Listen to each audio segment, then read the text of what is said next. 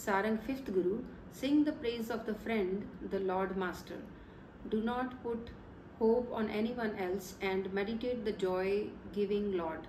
Seek the shelter of Him within whose home are peace, pleasure, and salvation. Forsaking Him, if thou serve man, then thy honor shall with shame melt like salt in water. I have grasped the shelter of one Lord, and meeting with the Guru, I am blessed with wisdom and understanding. Nanak says, My Lord, the treasure of merits, has met me, and all my dependence on men is gone. Sarang 5th Guru, I have the powerful support of my Sire Master.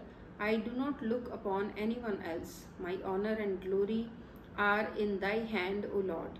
My Lord has taken my side and has pulled me out of the whirlpool of sins. The medicine of nectar name the Lord has poured into my mouth, and I have repaired to the Guru's feet. What praise of thine can I utter with one mouth? Thou art beneficent even to the meritless. Nanak says, By cutting the noose, thou hast made me your own, and then I am granted many comforts. Sarang 5th Guru, by contemplating the Lord, suffering is gone. When God, the giver of peace to the self, becomes grateful, one is fully exonerated.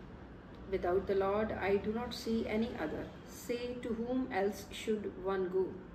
As thou deemest fit, so save me, Lord. I have totally surrendered to thee.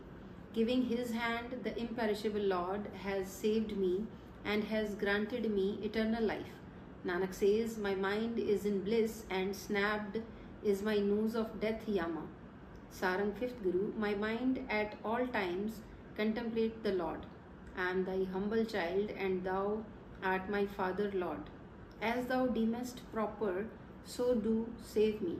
When hungry, then I ask for food, and when satiated, I am fully in joy. When I abide with thee, then I am free from maladies. On separating from thee, I am like dust. What power has the slave of thine slaves? Thou, O Lord, art the establisher and the disestablisher. Nanak makes this supplication that then alone one obtains eternal life if he goes